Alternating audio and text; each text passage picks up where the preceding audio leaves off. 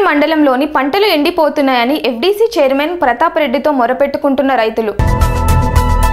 మెదక్ జిల్లా తూప్రాన్ మండలం మాదాపూర్ గ్రామంలో పంటలు ఎండిపోతున్నాయంటూ రాష్ట్ర ఫారెస్ట్ అభివృద్ధి చైర్మన్ వంటేరు ప్రతాప్ రెడ్డితో మొరపెట్టుకుంటున్న రైతులకు పిలుపు మేరకు ప్రతాప్ రెడ్డి పంటల పొలాలను పరిశీలించారు. అనంతరం మీడియాతో మాట్లాడుతూ రైతుల విజ్ఞప్తి మేరకు ముఖ్యమంత్రి కేసీఆర్ మల్లన్న సాగర్ కొండపోచమ్మ సాగర్ల ద్వారా అతి త్వరలో విడుదల చేయాలని కోరారు. హల్దీవాగు ద్వారా త్వరలోనే పంట పొలాలకు నీరు అందిస్తామని ముఖ్యమంత్రి కేసీఆర్ తెలిపినప్పటికీ ఎండ తీవ్రత ఎక్కువ కావడంతో పంట పొలాలు ఎండిపోతున్నాయని సందర్భంగా రైతుల విజ్ఞప్తి మేరకు అతి త్వరగా నీటిని విడుదల చేయాలని ముఖ్యమంత్రి కేసీఆర్ను కోరుతున్న వంటేరు ప్రతాప్ రెడ్డి గారు తెలిపారు.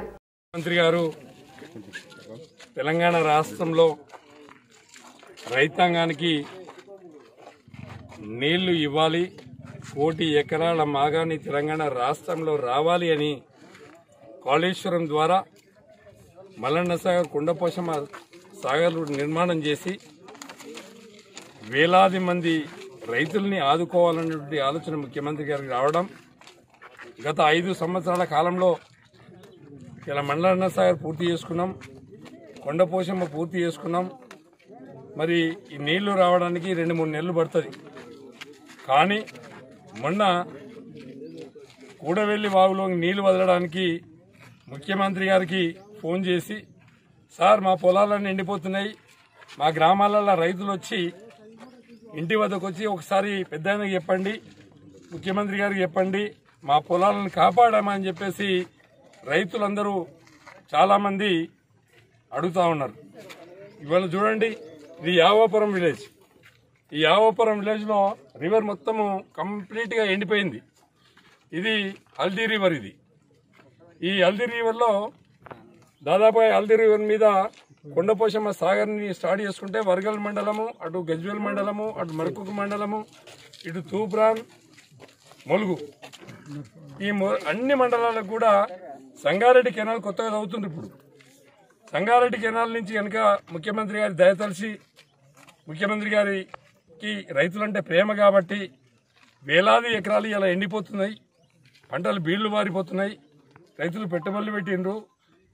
మీరు ఇచ్చిన పెట్టుబడులతో కలుపుకొని ఇంకా పెట్టుబడులు బాగా పెట్టి అధిక దిగుబడులు రావాలంటే ఆలోచనతోని రైతులందరూ కూడా ఇలా పొలాల వెంట ఎండిపోతూ ఉంటే దిక్కు తోచని పరిస్థితుల్లో కూడా ఉన్నారు. దయచేసి నేను ముఖ్యమంత్రి గారిని రిక్వెస్ట్ చేస్తున్నా ప్రాధేయపడుతున్నా మా రైతుల్ని కాపాడండి.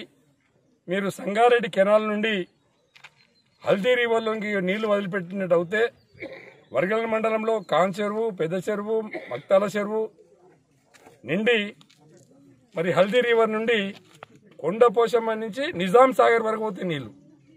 దీని మీద దాదాపుగా చెక్ డ్యాంలు విపరీతంగా చెక్ డ్యాంలు ఉన్నాయి. స్వామి బోధానంద గోసేవ ఆశ్రమం సైథాపూర్ జ్యోతిష్యం వాస్తుశాస్త్రం మన పూర్వీకులు మనకిచ్చిన వరం.